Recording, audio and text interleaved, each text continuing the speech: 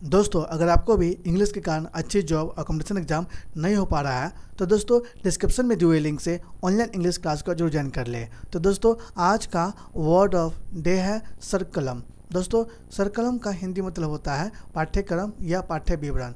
दोस्तों सर सर्कुलम का मतलब ये होता है कि सिलेबस में जो दिया रहता है कि आपको कौन कौन सा लेसन कब पढ़ना है। यानी कि दोस्तों, सिलेबस के हिसाब से आप यदि पढ़ते हैं तो आप अच्छा मार्क ले आते हैं। तो दोस्तों, क्योंकि बताया जाता है कि कौन से मंथ में कौन से कौन से चैप्टर को पढ़ना है और दोस्तों, कौन से चैप्टर में कौन कौन सा पॉइंट पढ़ना है। तो दोस्तों, उसको ही सर्कलम कहा जाता है। तो दोस्तों, सर्कलम के एक एग्ज़ाम्पल समझते हैं जो इस प्रकार है।